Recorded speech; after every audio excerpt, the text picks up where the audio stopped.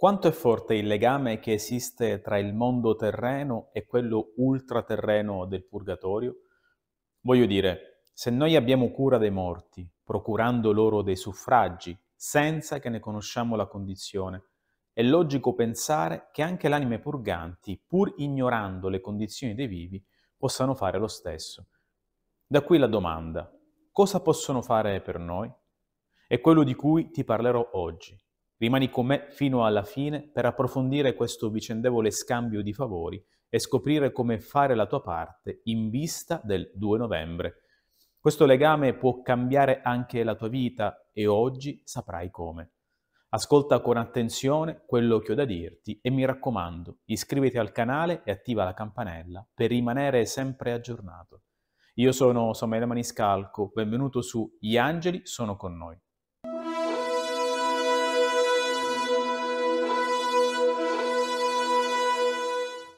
Quando preghiamo per le anime del purgatorio non lo facciamo solo perché è giusto farlo, ma perché è un atto di profonda carità.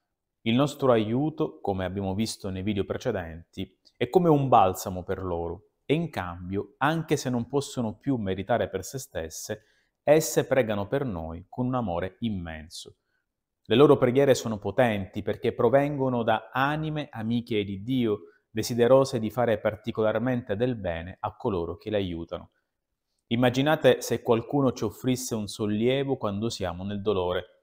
Sentiremmo un bisogno profondo di esprimere la nostra gratitudine, non è vero? Ora pensiamo a quanto più grande sarà la gratitudine di un'anima verso chi l'aiuta a raggiungere il paradiso. La sua preghiera sarà efficacissima e ci procurerà benefici immensi, tanto per la vita spirituale che per quella corporale. Queste anime stanno aspettando con ansia il nostro aiuto e questo è il periodo in cui possiamo fare davvero la differenza nelle loro vite e nelle nostre.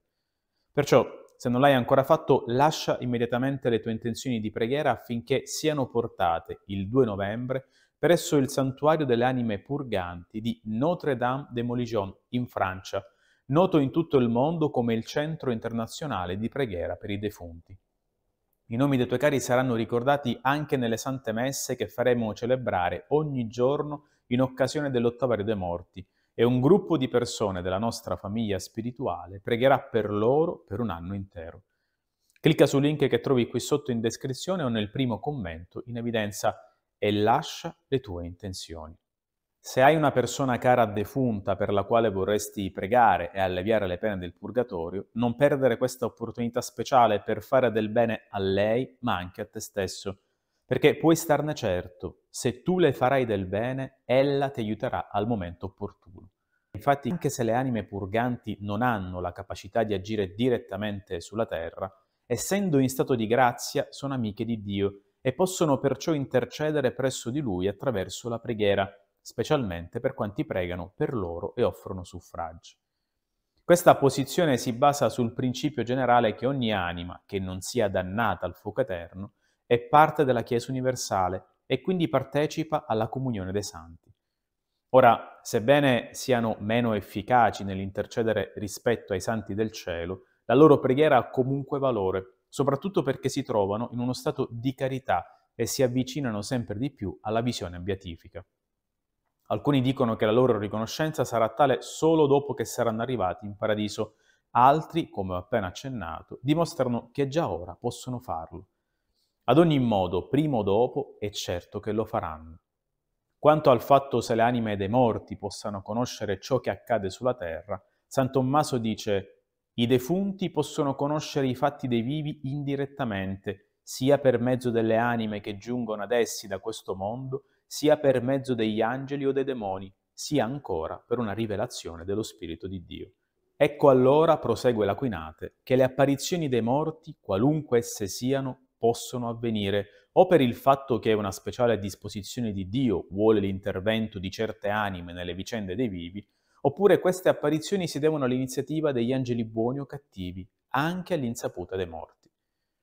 C'è dunque un dolce scambio di carità tra il cielo e la terra, con ogni parte che aiuta l'altra a raggiungere la salvezza.